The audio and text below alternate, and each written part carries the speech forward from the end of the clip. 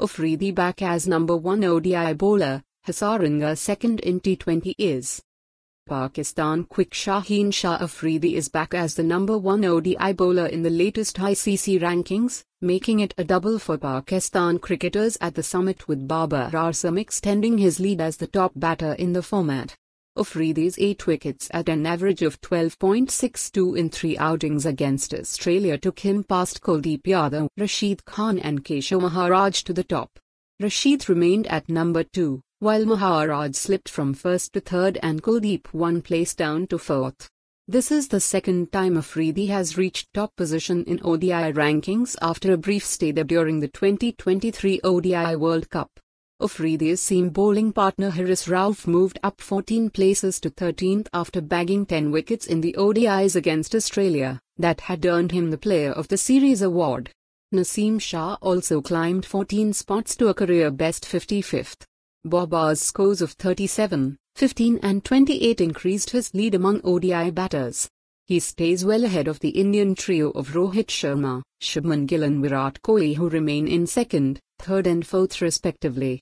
There were big gainers among all-rounders after the ODI series between Afghanistan and Bangladesh in the UAE.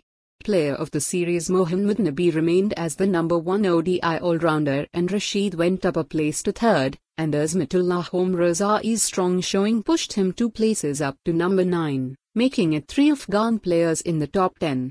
Bangladesh's Mehidy Hasan Miraz, who took three wickets in the series and scored 66 in the third ODI, jumped four places to number 4. Samson, Hasaranga, Salt make gains in T20Is.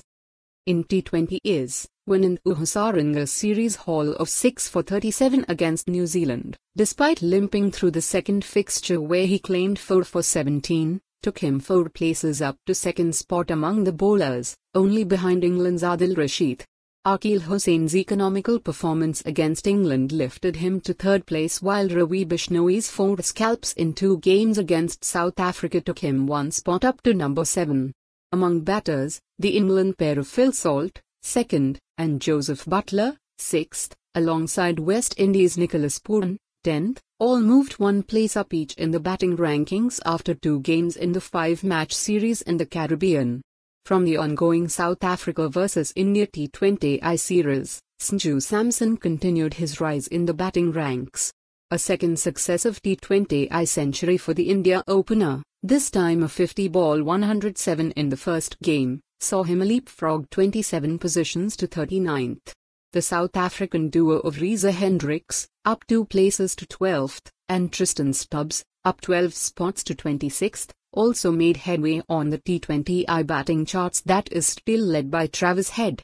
Salt and Suryakumar Yadav round off the top three.